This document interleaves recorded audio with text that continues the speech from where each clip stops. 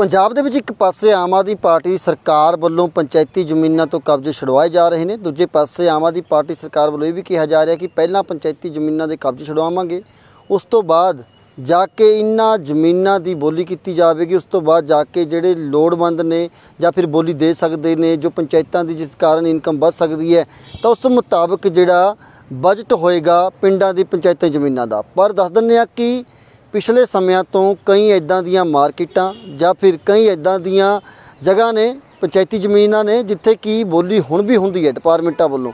ਜਿਨ੍ਹਾਂ ਦੀ ਬੋਲੀ ਚੜ੍ਹਦੀ ਹੈ, ਲੋਕ ਬੋਲੀ ਵੀ ਦਿੰਦੇ ਨੇ, ਪਰ ਇੱਕ ਮਾਮਲਾ ਸਾਹਮਣੇ ਨਿਕਲ ਕੇ ਆਇਆ, ਪਿੰਡ ਮਾਜਰਾ, ਨਿਊ ਚੰਡੀਗੜ੍ਹ ਦਾ, ਜਿੱਥੇ ਕਿ ਇੱਕ ਵਿਅਕਤੀ ਵੱਲੋਂ ਇਲਜ਼ਾਮ ਲਗਾਏ ਜਾ ਰਹੇ ਨੇ ਕਿ ਪਹਿਲਾਂ ਉਹਨਾਂ ਦੇ ਬੋਲੀ ਕੀਤੀ ਗਈ ਜ਼ਮੀਨ ਦੀ, ਜਿਹੜੀ ਦੱਸਿਆ ਜਾ ਪੰਚਾਇਤੀ ਜ਼ਮੀਨ ਦੀ, ਉਸ ਸਮੇਂ ਉਹਨਾਂ ਨੇ ਆਪਣੀ ਸਿਕਿਉਰਿਟੀ ਭਰੀ ਸੀ, ਪਰ ਕਬਜ਼ਾ ਨਹੀਂ ਦਿੱਤਾ ਗਿਆ। ਪੂਰਾ ਮਾਮਲਾ ਕੀ ਹੈ? ਗੱਲਬਾਤ ਕਰਦੇ ਹਾਂ। ਬਾਈ ਜੀ ਕੀ ਨਾਮ ਹੈ ਆਪਣਾ? ਗੁਰਵਿੰਦਰ ਸਿੰਘ। ਅੱਛਾ ਜਗਵਿੰਦਰ ਸਿੰਘ ਜਿਹੜਾ ਤੁਸੀਂ ਦੱਸ ਰਹੇ ਹੋ ਕਿ ਬੋਲੀ ਹੋ ਗਈ ਸੀ।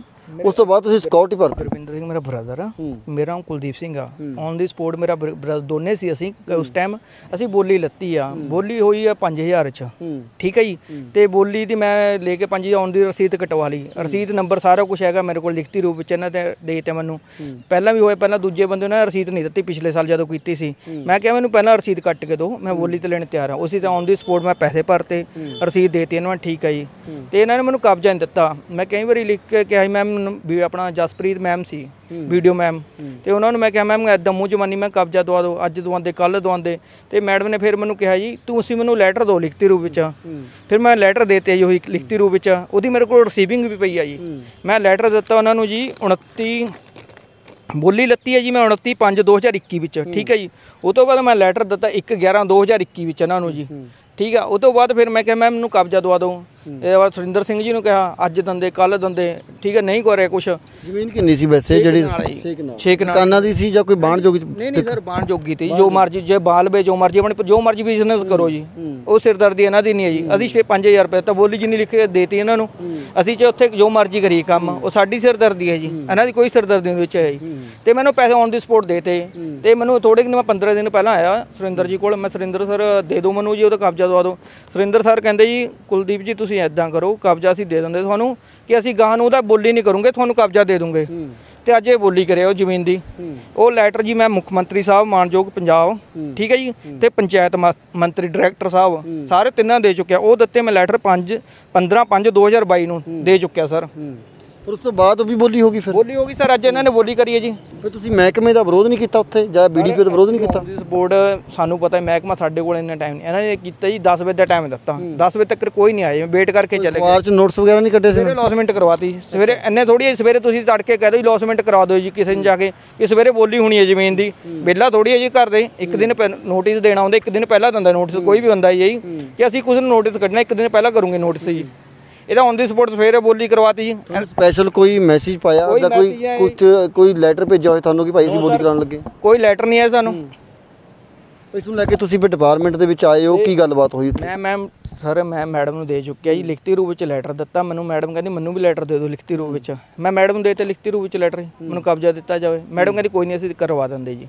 ਵਿਸ਼ਵਾਸ ਦਵਾਇਆ ਮੈਮ ਨੇ ਜੀ। ਹੁਣ ਤੁਹਾ- ਤੁਹਾਡੀ ਚਾਹਤ ਕੀ ਹੈ ਕਿ ਉਹ ਜ਼ਮੀਨ ਹੈ ਜਿਹੜੀ ਕਬਜ਼ਾ ਕਰਨੀ ਹੈ ਜਿਹੜੀ ਤੁਸੀਂ ਬੋਲੀ ਲਾਈ ਹੋਈ ਹੈ ਜਾਂ ਫਿਰ ਤੁਹਾਡੀ ਸਿਕਿਉਰਿਟੀ ਵਾਪਸ ਹੋਣੀ ਨਹੀਂ ਚਾਹੀਦੀ? ਸਰ ਮੇਰੀ ਚਾਹਤ ਆਈ ਹੈ ਕਿ ਮੈਂ ਉਹ ਜ਼ਮੀਨ ਦਾ ਮੈਨੂੰ ਕਬਜ਼ਾ ਦਿੱਤਾ ਜਾਵੇ। ਸਿੱਧੀ ਗੱਲ ਦੱਸਾਂ ਜੀ।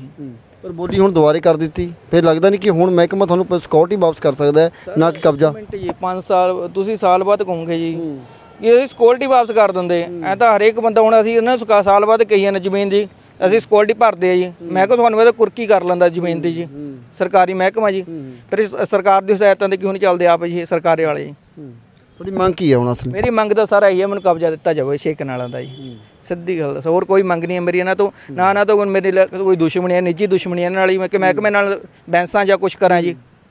ਠੀਕ ਹੈ ਬਿਲਕੁਲ ਤੁਸੀਂ ਦੇਖ ਸਕਦੇ ਹੋ ਕਿ ਇਸ ਵਿਅਕਤੀ ਵੱਲੋਂ ਜਿਹੜੇ ਇਲਜ਼ਾਮ ਲਗਾਏ ਗਏ ਨੇ ਡਿਪਾਰਟਮੈਂਟ ਦੇ ਉੱਤੇ ਕਿ ਪਹਿਲਾਂ ਤਾਂ ਮੇਰੇ ਪਿੰਡ ਦੇ ਵਿੱਚ ਜਾ ਕੇ ਉਸ ਜ਼ਮੀਨ ਦੀ ਬੋਲੀ ਕੀਤੀ ਗਈ, ਪੰਚਾਇਤੀ ਜ਼ਮੀਨ ਦੇ ਵਿੱਚ ਉਸ ਸਮੇਂ ਬੋਲੀ ਦੇ ਵਿੱਚ ਮੈਂ 5000 ਰੁਪਿਆ ਲਾ ਦਿੱਤਾ, ਬੋਲੀ ਹੋ ਗਈ। ਪਰ ਕਾਫੀ ਲੰਬਾ ਸਮਾਂ, ਸਾਲ, ਡੇਢ ਸਾਲ ਦੇ ਬੀਤ ਜਾਣ ਤੋਂ ਬਾਅਦ ਵੀ ਹੁਣ ਤੱਕ ਡਿਪਾਰਟਮੈਂਟ ਨੇ ਉਹਨਾਂ ਨੂੰ ਉਸ ਜ਼ਮੀਨ ਦਾ ਕਬਜ਼ਾ ਨਹੀਂ ਦਿੱਤਾ ਸੀ।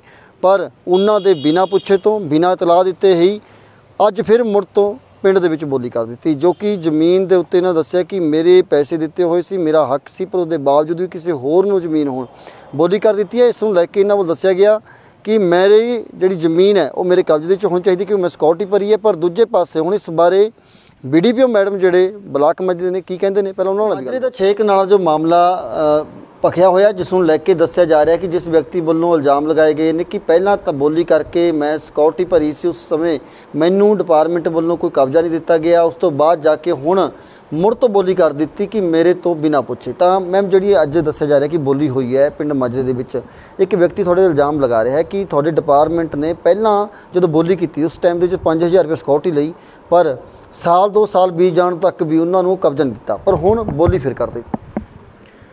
ਮੇਰੇ ਕੋਲ ਅੱਜ ਹੀ ਇਹ ਕੰਪਲੇਂਟ ਆਈ ਹੈ ਮਾਜਰੇ ਪਿੰਡ ਦੀ।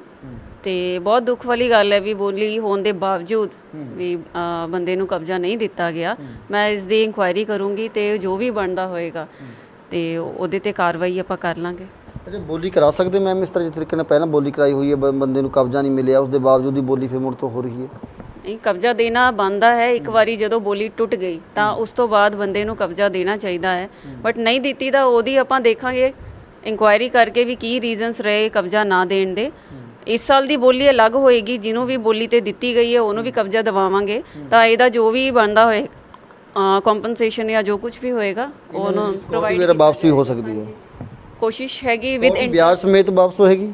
ਵਿਦ ਇੰਟਰਸਟ ਜੋ ਵੀ ਬੋਲੀ ਦੀ ਅਮਾਉਂਟ ਹੈ ਉਹ ਅਸੀਂ ਵਾਪਸ ਕਰਾਂਗੇ। ਠੀਕ ਹੈ ਬਿਲਕੁਲ ਤੁਸੀਂ ਦੇਖ ਸਕਦੇ ਹੋ ਕਿ ਜਿਹੜਾ ਪਿੰਡ ਮਾਜਰੇ ਦਾ ਮਾਮਲਾ ਸੀ ਉਸ ਬਾਰੇ ਵੀ ਮੈਡਮ ਨੇ ਜਿਹੜਾ ਦੱਸਿਆ ਹੈ ਕਿ ਜਿਹੜੀ ਬੋਲੀ ਹੋਈ ਸੀ ਜਦੋਂ ਉਸ ਸਮੇਂ ਕੀ ਕੀ ਵਾਪਰਿਆ ਸੀ? ਕਿਉਂਕਿ ਉਸ ਸਮੇਂ ਦੇ ਵਿੱਚ ਬੀਡੀਪੀਓ ਹੋਰ ਸੀ, ਤਾਂ ਉਸ ਤੋਂ ਬਾਅਦ ਕਬਜ਼ਾ ਕਿਉਂ ਨਹੀਂ ਦਿੱਤਾ ਗਿਆ? ਉਹਦੀ ਇਨਕੁਆਇਰੀ ਵੀ ਕੀਤੀ ਜਾਵੇਗੀ। ਦੂਜੇ ਪਾਸੇ ਨੇ ਉਹ ਦੱਸਿਆ ਕਿ ਹੁਣ ਜਿਹੜੀ ਬੋਲੀ ਹੋਈ ਹੈ, ਉਸ ਮੁਤਾਬਕ, ਸ਼ਰਤਾਂ ਦੇ ਮੁਤਾਬਕ ਜਿਹੜੀ ਉਸ ਵਿਅਕਤੀ ਨੂੰ ਕਬਜ਼ਾ ਦਿੱਤਾ ਜਾਵੇਗਾ, ਜਿਸ ਵਿਅਕਤੀ ਨੇ ਬੋਲੀ ਲਗਾਈ ਹੈ। ਪਰ ਜਿਸ ਵਿਅਕਤੀ ਨੇ ਪਹਿਲਾਂ ਜਿਹੜੇ ਦੋਸ਼ ਲਾਏ ਨੇ, ਉਸ ਵਿਅਕਤੀ ਦਾ ਇੰਟਰਸਟ ਸਮੇਤ ਜਿਹੜਾ ਉਸ ਪੈਸੇ ਨੂੰ ਮੋੜਿਆ ਜਾਵੇਗਾ ਜਾਂ ਫਿਰ ਉਸ ਦੀ ਇਨਕੁਆਇਰੀ ਕਰਕੇ ਕੀ ਇਹ ਪੂਰਾ ਮਾਮਲਾ ਨਿਕਲਦਾ, ਉਸ ਦੀ ਇਨਕੁਆਇਰੀ ਪੂਰੀ ਕੀਤੀ ਜਾਵੇਗੀ। ਤੁਹਾਡੇ ਨਾਲ ਕੈਮਰਾਮੈਨ ਸੁਮਿਤ ਦੇ ਨਾਲ ਹਰਤੇਜ ਸਿੰਘ ਦੇ